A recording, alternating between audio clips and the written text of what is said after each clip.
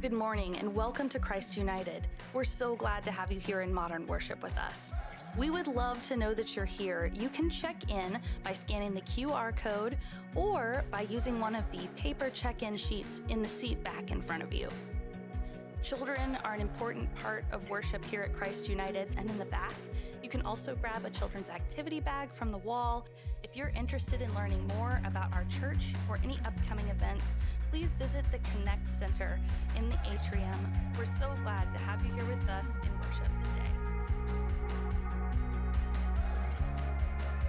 Good morning. Happy back to school Sunday. I cannot believe this school is already here.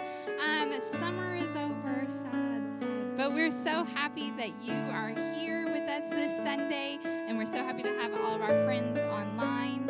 If you are able, in body or in spirit, will you join us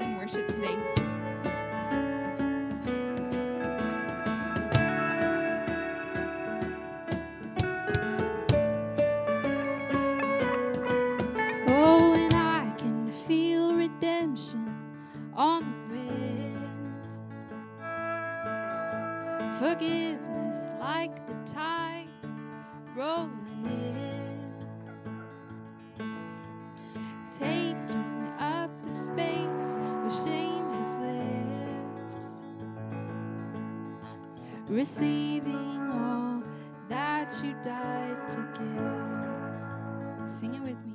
Let the wind blow. Let the tide roll. Till the earth knows you're a God of love. Let my dry bones sing a new song. All the glory to the God of love. Hey.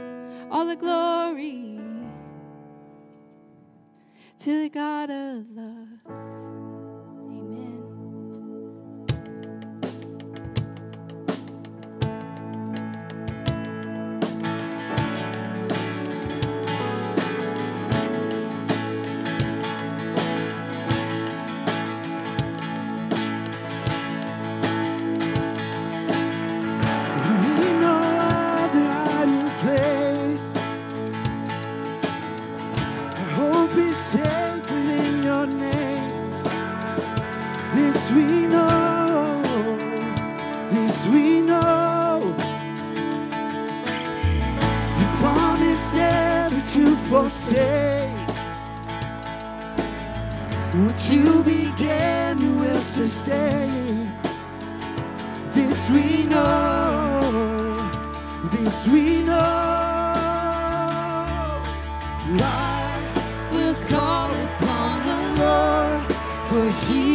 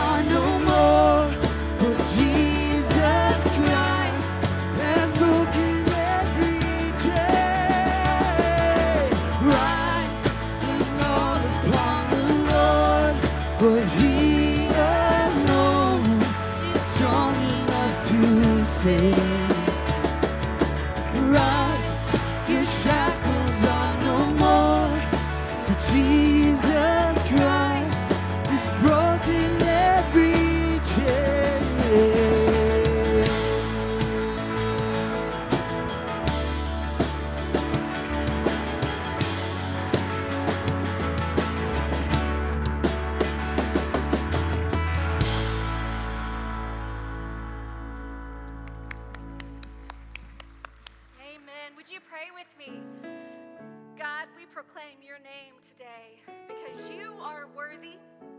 You are worthy of our praise. And God, there are days, some of us may be having that kind of day today, where we just don't feel like we can do it. We don't feel like we're enough. We don't feel like we can get everything done. And the chaos or the stress of our life just feels too overwhelming. And so we come into this place today, oh God, and we set aside this time to call upon your holy name, to remind ourselves once again that we are not alone, that we do not do this alone. You break every chain. You are with us every step and every breath. Help us to know that deep in our bones today, God, as we sing a new song to you. It's in Christ's name we pray. Amen. Amen. You can have a seat. Well, good morning. It is such a joy to be with you today. My name is Julie Henson, and I have the great joy and privilege of being the pastor to this wonderful modern worship community. If this is your first time with us, we want to know that you are here today. And so there is a packet on the each end of each row. If you will just take that and pass it down the row this morning, let me know that you are here today. If you're not a first time guest, still let me know that you're here so that we can get to know one another in the weeks ahead. A couple of things that are coming up, if you can believe it, it is already August. Today is back to school. Something coming up in August that I want to draw your attention to Chris and Whitney, our senior pastor, Chris Dowd, is leading a study for parents of youth called Three Questions. And it's going to be a wonderful time for our youth parents to dive into these questions that may spark richer conversations with your teenagers. What are the conversations that we need to be having? How can we have those conversations? Chris and Whitney are in the midst of all of that with their two teenage boys, and so it's going to be a wonderful time. And so, if you know someone or if you yourself fit that particular category of a youth parent, this is a great opportunity to dive in and plug in as we start the new year. And then, in just a couple of weeks, three weeks, we are going to have our third grade Bible celebration. And so, if you have a third grader or if you know a third grader, we would love to present them with a Bible on August 22nd or 27th. And so, if you will just take a moment, there's a registration for that on our children's page. And so, you can go and fill out the registration for that and click modern, and we will have the Bible presentation here in our wonderful modern worship service. And then finally, and uh, next week, we are going to start something a little bit different. Um, we are going to do something called Meet the Pastor. You know, I wanted to um, name it um, Pasta with the Pasta, but um, nobody else thought that was as funny as I did, and I just really like noodles. But we're just going to do pizza instead. But I want a chance to get to know you, and I want a chance to get to hear about your thoughts and dreams for this incredible community. And I want to get to tell you a little bit more about myself as well. So next Sunday, right after worship, if you will just go to our website, um, it says uh, cumc.com slash worship, you'll find a registration. I just need to know how much pizza to order. So it's really informal. You can come even if you didn't sign up, but just take a moment if you can and let me know if you're coming. That way, I can have enough pizza for us next week. It's going to be a great time after worship just to get to hang out and get to know each other. Well, it is a really special Sunday today. Today, we have our back to school Sunday and our promotion Sunday. And so, we want to take a minute to celebrate all of the teachers and the administrators and the custodians and cross guards, everyone who is involved in our school system, because it is a calling and it is one that we are deeply appreciative and grateful for. So, what we want to do today, if you're willing, is if you are or were a teacher or an administrative staff, custodian, a cross guard, if you are involved in the school system at all or were and are now retired, would you just take a minute and stand so that we can say a word of gratitude to you?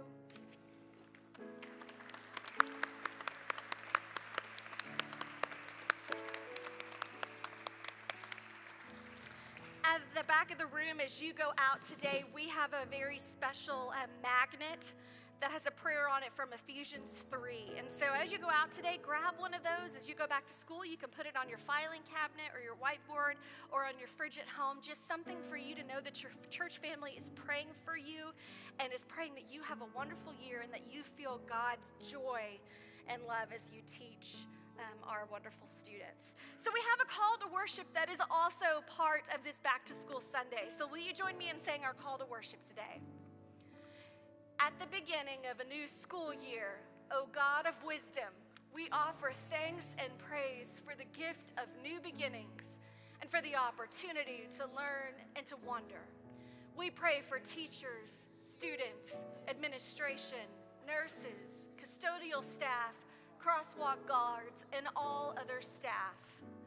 We pray that this year might be rewarding for all be with us as we face the challenge of new tasks, the fear of failure, the expectations of parents, friends, and self.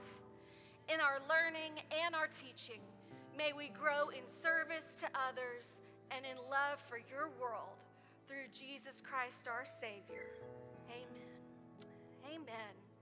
We're going to continue in worship today through a time of offering. And we do that as part of our worship service because it is the recognition that giving is a part of our worship, giving back to God for all that God has given to us. There are many ways to give here at Christ United Methodist Church. You can give online or through Venmo. You can also give through the offering baskets that will be um, passed around here in just a minute. Speaking of schools, we want to celebrate today what we have done through our own giving in the past month.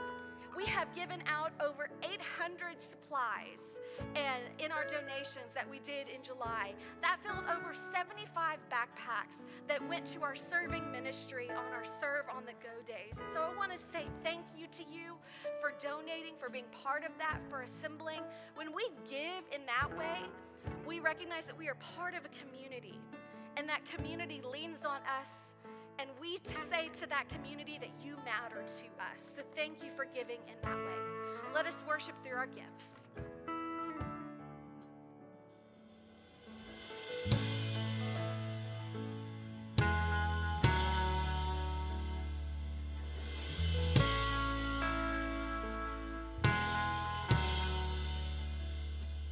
Her creation suddenly articulate with a thousand tongues to lift one cry.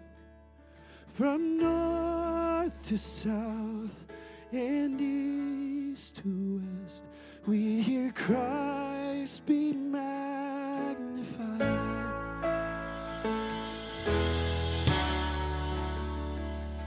Were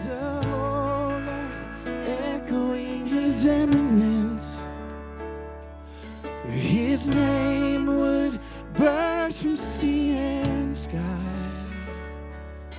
from rivers to the mountain tops. We hear Christ be magnified. Oh, Christ be magnified. Let his praise arise. Christ be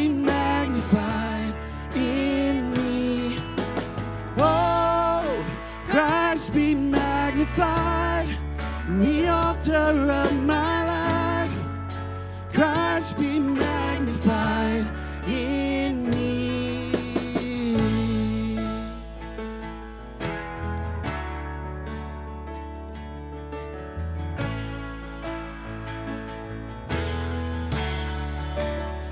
Oh, and every creature finds its inmost melody, and every human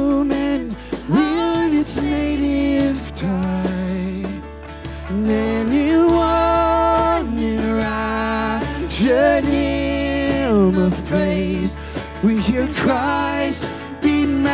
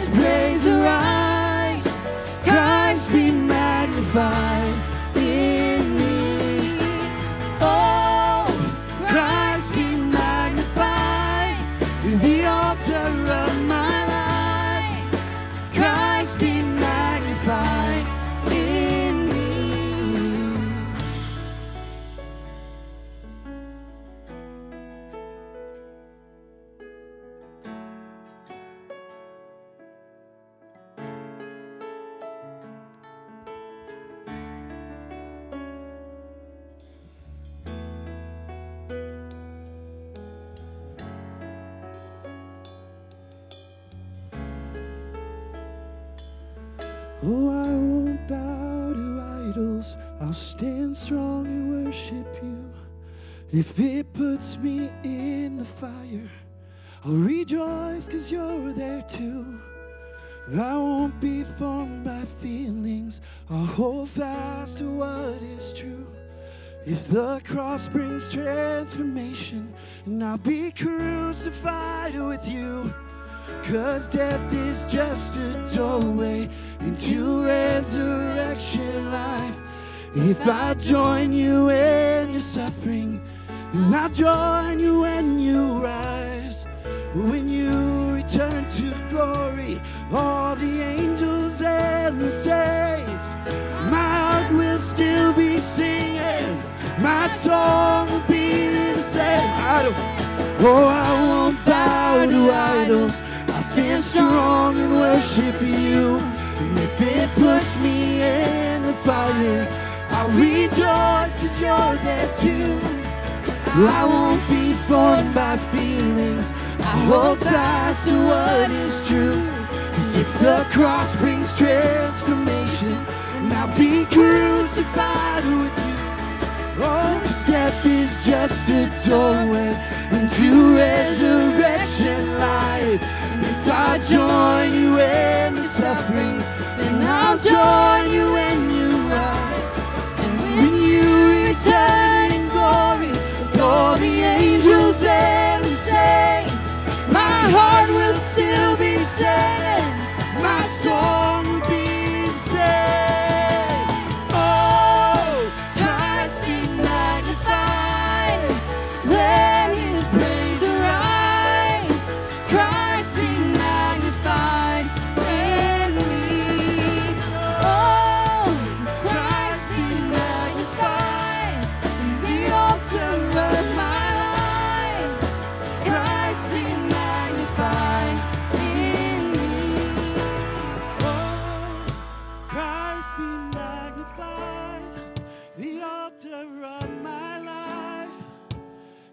Christ be magnified in me.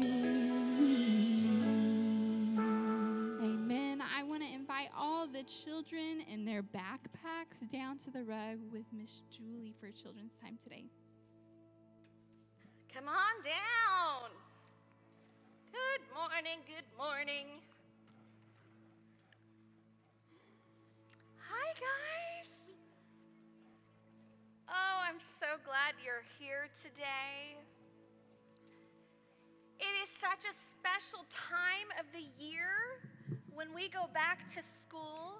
Now, raise your hand if you are excited. Are you excited? Raise your hand if you're kind of nervous. It's okay, that's okay too. Raise your hand if you have lots of questions. Raise your hand if you have all the answers. Oh, good one. Very good. So, I have a very special sticker for y'all today. Who can tell me what this says? Seen, known, loved. That's right. Seen, known, loved. Can you say that with me? Seen, known, loved. We decided for these three words to be what you see every single day when you see this sticker so that you know that there is someone who sees you, someone who knows you, and someone who loves you. Can you guess who that is? God, God, that's right. Now I'm sure, that's right, and Jesus. Now, I'm sure your parents do too, and your friends and your family. And so every time you see this sticker, what I want you to remember is that God sees you, God knows you, and God loves you. What about the arm of Titanic? What about the what of? The Titanic got sunk to the bottom of the ocean. Yeah, you know, God sees them and knows them and loves them too. Okay, so we have a very special prayer that we want to say today that is going to be on the screen. So I'm going to turn around so that we can pray that prayer together. All right, here we go. God, our creator, for these children who will be experiencing a new school year, and we all say, we ask for your blessings on their backpacks that will go with them each day. We ask for your blessings on their minds that will grow with knowledge and curiosity. We ask for your blessings. On their hearts that will grow in compassion and kindness. We ask for your blessings. On their schools that will be a safe place of learning and comfort. We ask for your blessings. God of all, be with all students that through your guidance they may know that they are your beloved children. Amen. That you will know more than anything that God loves you, okay? All right, so I have a sticker for each one of you. So you're going to come up and get one from me. Can somebody help me pass them out? Okay. I'm gonna pass them out. Here you go. You do want to come help pass them out? There you go. There you go. Y'all have a great school uh, year. Uh, and I'm starting kindergarten. You're starting kindergarten. That's so exciting. I'm starting first grade. In first grade? And fourth. Okay, now once you've got your sticker, you can take it and put it in your backpack or keep it with you and you can go back to your seats. Thank you guys. Did everybody get one? I bet your mom can help show you how to put the sticker on. They're a little bit tricky.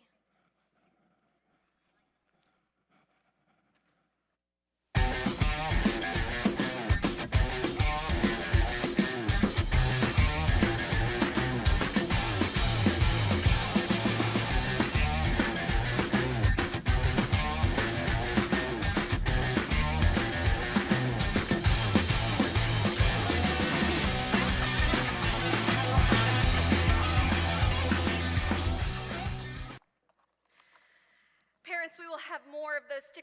Back. Um, if you know of another kiddo that you would like to give one of those to, you can pick one up on your way out. So, has anybody ever felt like that video describes them, or a season of their life, or a time when things just seemed stressful? You know that phrase, the struggle is real? I found myself in a season of my life saying that a lot. You know, I didn't want to just get into it with every person who asked. I would just say, oh, you know, the struggle is real, meaning things are hard, things can be really difficult. I was having one of those days yesterday where I was a little bit on the struggle bus. Um, if you follow me on Facebook or Instagram, you maybe saw a picture of me with a bunch of balloons because it's back to school Sunday. And balloons are really fun until they're not. And I got into a little bit of a fight with some balloons, trying to get them all into a car. I looked like a cartoon character at Party City, trying to fit them all into my husband's small little Mazda. And I mean, I was like, "Mm, there's no way. I'm not coming back. Nope. They're all getting in. And so I pushed and I shoved and I kicked and I smushed. And then when worse came to worse, I even popped some of them. Just, you are going in the car. And I was a little bit on the struggle bus. And by the time I got home yesterday, I was tired and I was exhausted. And that good kind of exhausted when you've been working on something really hard and you're really excited for something, but you're also just tired. And I got home and my husband said, Hey, how are you? And I said, I'm so tired I could cry, but I'm too tired to cry. And my son walks into the room, and three weeks ago now, when he was here, we sang a song called We Make Space. And y'all, that has become my kid's jam. It is the only song he listens to. Now, I will also tell you that um, I made what I thought was a really sweet decision a couple of days ago. It ended up being an actually like really difficult decision. Um, the live version on Apple Music and Spotify is 12 minutes long. And so I said, Do you want to hear Miss, Miss Paris sing it? He said, Yes, Miss Paris.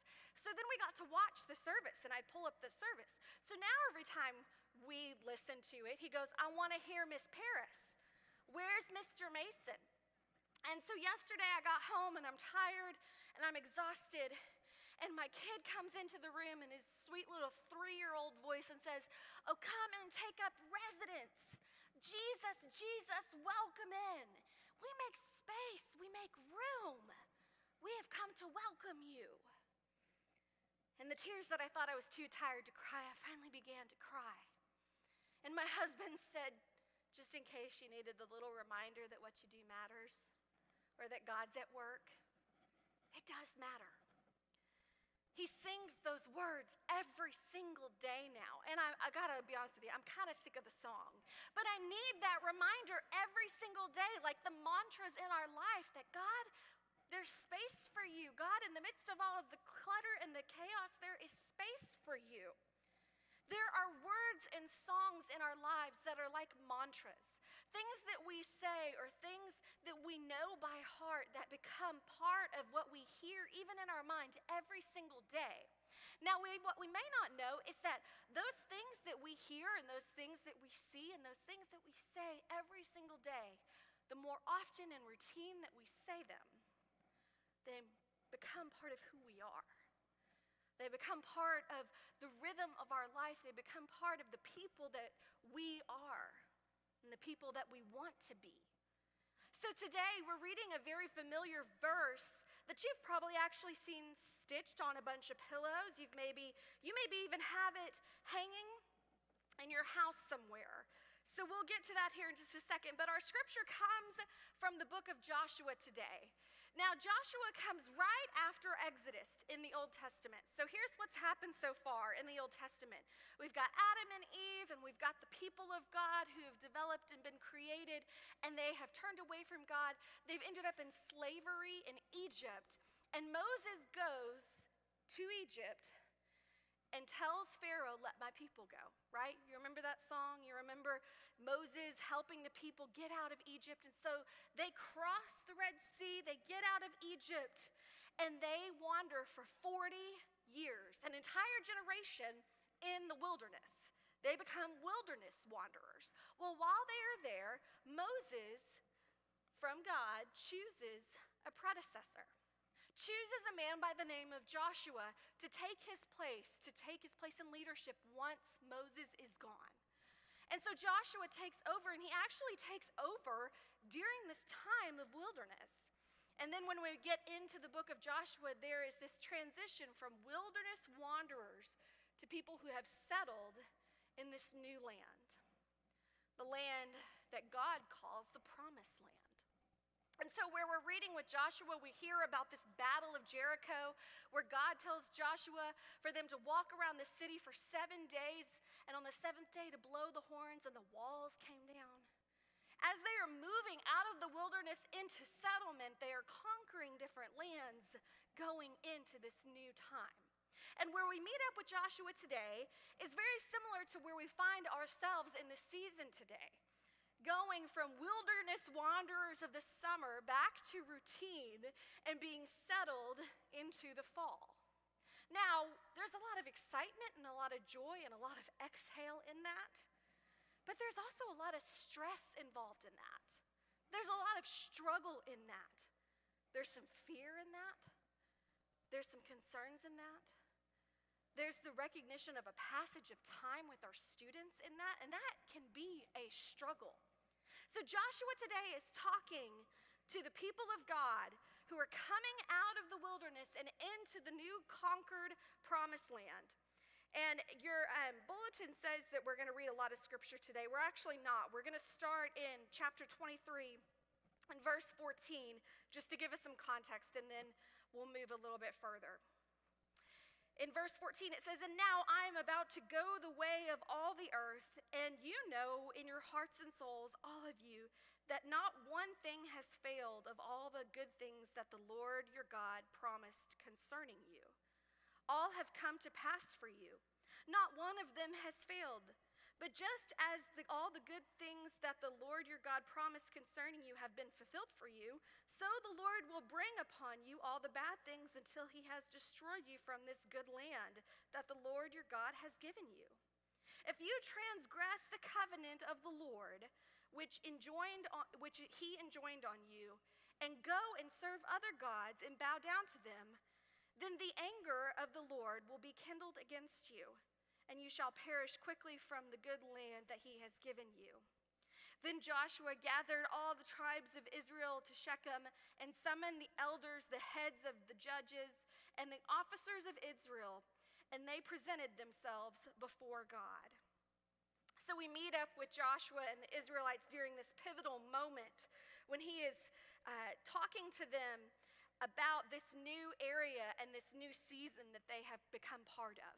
They are settled in this new land. Now, this new land has a lot of new people in it, people that are already settled there before they got there. And these people worship different gods than the God of Israel. And so, what Joshua is saying to these people is Do you remember all the things that God has already done for you? You've got to make a decision in this new land and in this new season, and even in your struggles. You've got to make a decision about who you're going to worship and who you're going to serve. Because this land is going to tell you that there's more than one option. There are several gods that you can worship. But you have to decide will you continue to follow the God that made a covenant with you? There's two words that I want to give you today, and the first one is that word covenant. Can you say covenant? Covenant. This is the word that we hear in the scripture for Joshua. Joshua is saying to the people, Have you forgotten the covenant that God has made for you? Now, what is a covenant? It's a promise. God has made a promise, and God continues to make that promise as if it's a verb. God continues to fulfill that promise, continuing to be willing to turn towards the Israelites even when they turn away from God. A covenant is a promise. It's different than a contract because it's not transactional. How often do we find in our relationships that we are interested in more of a transaction, in more of a contract? We get very consumer focused where I give you something and you give me something in return. But a covenant says, I give you something regardless of what I get in return, regardless of what you do with it, regardless of whether you deserve it. That's what God's covenant is with us. It's a promise to the people of Israel, the people of God, that God will always turn towards us. God will always give towards us, even when we do not return that covenant. So we see this covenant here and this reminder of the covenant. And then there's this turning point here, and we're going to read in chapter 24 all the verses that we're skipping today. If you're looking on in your Bible, I want you to go back and read some of those. It's long, but I think it's so important because what Joshua does is he then gives the history, what's called the salvation history, from the time of creation up to this point. He gives a history lesson of where God has been covenant, where God has continued to be in covenant with the Israelites. And then starting in verse um, 13 is where we're going to pick up. So he talks about all the places where God has continued to save the Israelites, where God's covenant has been renewed, where God fulfills God's promises to us. And then there is this shift. And Joshua talks about a choice that we have to make. Starting in verse 13 of chapter 24, it says, I gave you a land on which you had not labored, and towns that you had not built, and you live in them. You eat the fruits of vineyards and olive yards that you did not plant. Now, therefore, revere the Lord and serve him in sincerity and in faithfulness. Put away the gods that your ancestors served beyond the river in, and in Egypt and serve the Lord. Now, if you are unwilling to serve the Lord, choose this day whom you will serve. Whether the gods of your ancestors served in the region beyond the river of the gods of the Amorites, in whose land you are living. But as for me and my house, we will serve the Lord. Have you seen that on a plaque somewhere? Maybe you have it in your own house. As for me and my house, we will serve the Lord. Joshua goes from talking about the promise that God has made to us and instead talks about a choice now that we have to make. God has made covenant with us, and that now leaves us with a choice. And you hear this mantra everyone else can do what they want to do, but for me, for me and my house, we will serve the Lord. Somebody who's um, super uh, into house decorating, but you've probably seen this in many different places pillows and on plaques. And I wonder today if there was a mantra that you would say that you live by that is as distinct as the one that Joshua talks about here, what would your mantra be? What would your mantra say? What are the words that you would live by or that you say that you live by? For Joshua, it's as for me and my house, we will serve the Lord. He's very clear, though, in this section of scripture that this choice might actually require courage. That's the second word for you today. Can you say courage? Courage. We have to make a choice, and that choice may not be easy, and it might take a little bit of courage. There's a distinction today, though, between daily courage and heroic courage.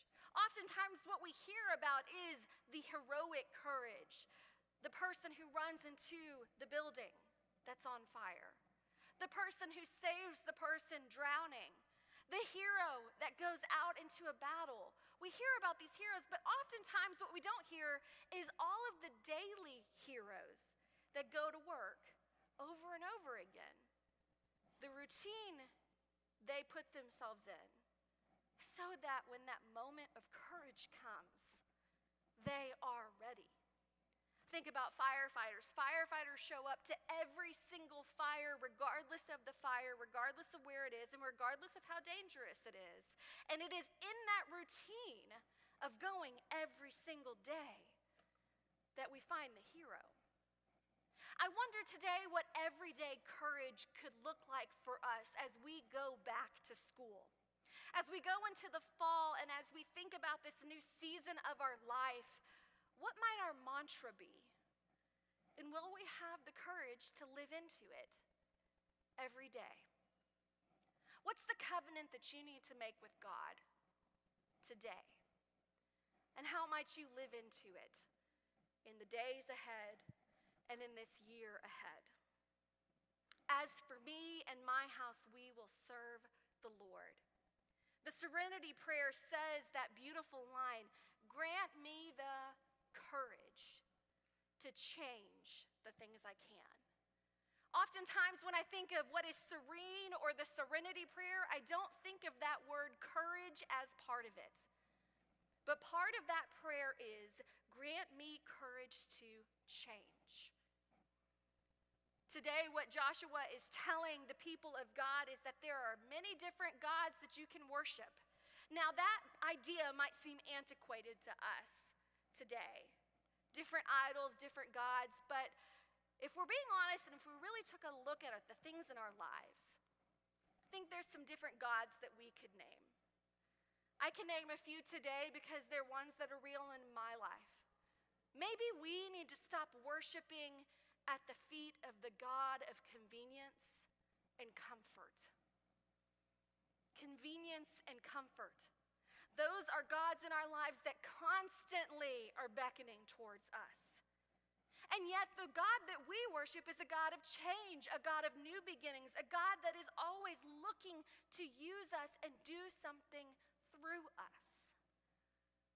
But we can't be people who go about that work if we are worshiping at the feet of the gods of convenience and comfort.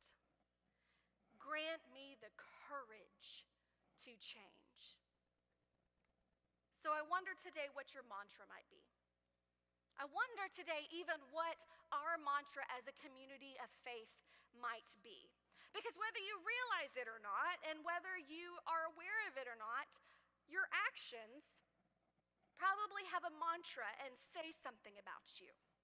Every year when I would uh, go back to school, I was always very focused on what my new identity was going to be, what who I was going to be, what I was going to do, what did I want to accomplish. I was very goal driven, especially in school.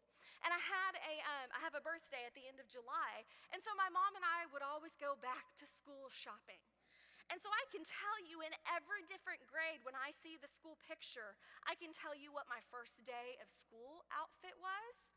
Yeah, because that was important. And I could tell you what in my mind was most important to me that year.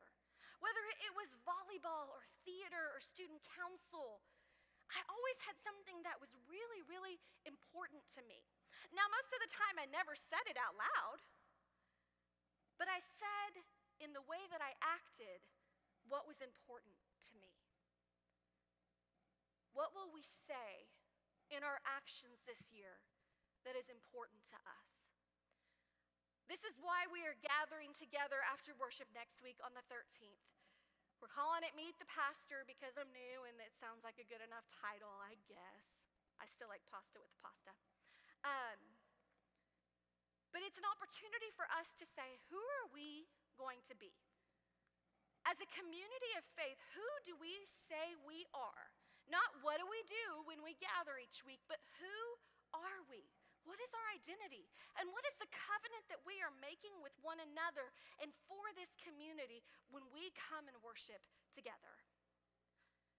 Today, as we come to the table of communion, I want to give you an opportunity through communion today to think about what your word or your mantra or dare I say it, your covenant might be this year. And I want to invite you to write it down. Write it down and put it somewhere where you will see it every day. Write it down so you can see it, and maybe in some everyday way and routine, it might change your life. You might utilize it in some way. You might make the daily choice to make a covenant with God and serve the Lord. So we come to the table of communion today. And that word communion means to come into union with God. So we come into union with God and we come into union with one another. And what you will hear in the liturgy or the words that I'm going to speak is we remember the Last Supper that Jesus had with his disciples. He gathered with those disciples and during a very ordinary meal, when they gathered for a meal called Passover, Jesus stopped what was going on and he took a loaf of bread and he broke it. And he gave it to those friends and he said, Take and eat. This is my body and it's given for you. And in this daily, ordinary thing, every time you eat it, remember me. That word remember, remember, means to put the together every time you eat this meal, you remember who God is and who God has called you to be. And then after that meal, when the supper was over, he took a cup and he gave thanks to God and he gave it to those friends, those disciples, and said, Let's drink from this, all of us, because this is the blood of my new covenant, my new promise for you to love God with your whole heart, mind, soul, and strength, and to love your neighbor as you love yourself. This is that new covenant. And every time you drink it, it has been poured out for you and for everyone for the forgiveness of sins. And as often as you drink this ordinary thing, remember me. Remember my promises for you. As we come into this time of communion today, we're going to sing a song called The Goodness of God. It's one of my favorite songs, but I'll admit to you, it's not a song that um, was my favorite up until about a month ago. Um, this is my mom's favorite song. And when I went to Colorado a couple, a couple weeks ago, my husband and I lead worship for them in their small church in Colorado, and she wanted us to sing this. And I was just so frustrated with her. My mom has metastatic breast cancer. And right now, she has, um, she's going through treatments um, for cancer that is in her tailbone and her hip. Um, the treatments are going really well, but she's in a lot of pain. And every day when she walks, she's in pain. When I was with her, she had just done radiation and it was hard to even swallow. And I could not quite fathom how my mom, who was going through this constant pain, could say that her favorite song was this song that talked about the goodness of God. And so I just was honest with her. I said, Mom, I don't get it. I don't get it. I don't get how you can talk about the goodness of God. And she showed me this video of this woman singing this song beautifully. And as she is singing the song, her husband comes in, and her children come in, and her grandson comes in. And my mom starts to cry, and I start to cry. And she said, Julie, that is God's goodness. It doesn't have to be extraordinary. It doesn't mean that everything is easy or even okay, but it does mean that God is good and God is faithful. So as we sing this song today, I'm reminded of my mom's covenant of the faithfulness and the goodness of God. And that even when the days are hard, I will sing of the goodness of God. You will be invited to come to these tables and to kneel, to take and eat a piece of bread and drink from the cup, and to maybe stay for a few minutes and pray about the words and the mantra, the covenant that maybe you will make this year. Let me pray for us. God, as we go into this time of communion, we ask that your Holy Spirit be poured out on us and on these gifts of bread and cup, and that you make it be for us the body of Christ, so that we may be your body in this world. God, it is by your Spirit that we become one one with Christ, one with each other, and one in ministry to all the world. Let your Holy Spirit guide us during this time, oh God, as we pray the prayer that Jesus taught us to pray. Our Father, who art in heaven, hallowed be thy name. Thy kingdom come, thy will be done, on earth as it is in heaven. Give us this day our daily bread, and forgive us our trespasses, as we forgive those who trespass against us. And lead us not into temptation but deliver us from evil. For thine is the kingdom and the power and the glory forever. Amen. You are invited to come forward and receive communion.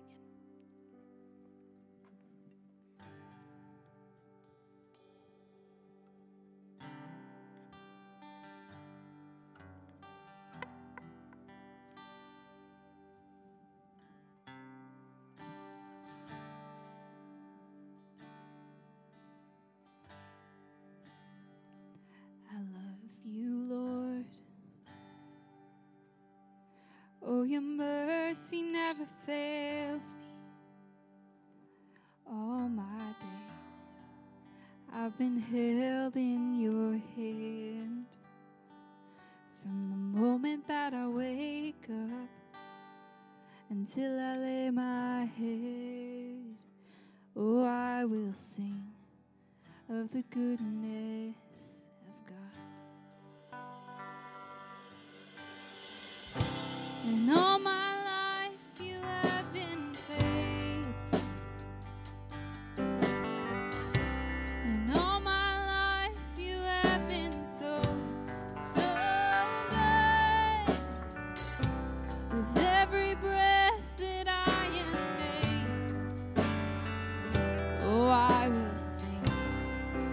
the goodness